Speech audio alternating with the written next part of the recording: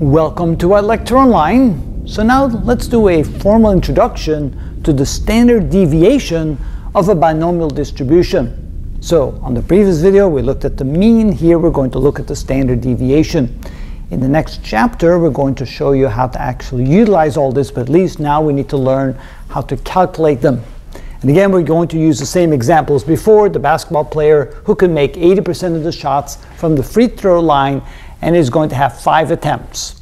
So the equation is that the standard deviation, this is the Greek letter sigma, is equal to the square root of the number of the attempts times the probability of success, meaning the probability that he'll make a basket, times the probability of a failure that he will miss the basket. So how do we calculate it? Well, sigma, the standard deviation, is equal to the square root of n, in this case n is 5 because he's going to make 5 attempts, the probability of success is uh, 80% because he's making 80% of his shots, so it would be 8 out of 10.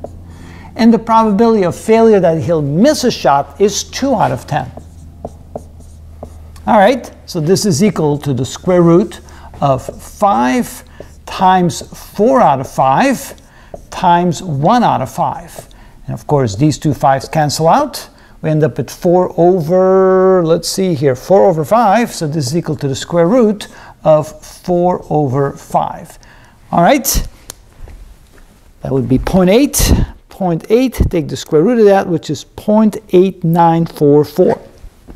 So this is equal to 0.8944, which is equal to, well, I'm not going to convert it to percent because when we're dealing with standard deviation, we typically add that and subtract that from the mean. Typically, it's the mean plus one standard deviation or minus one standard deviation or plus or minus two standard deviations. So again, we'll attack that concept in the next chapter. Here we simply want to know how to calculate the standard deviation. So remember the mean from the previous video was 4 and the standard deviation is almost 1 so that would be plus or minus 1 standard deviation would be somewhere between 3 and 5.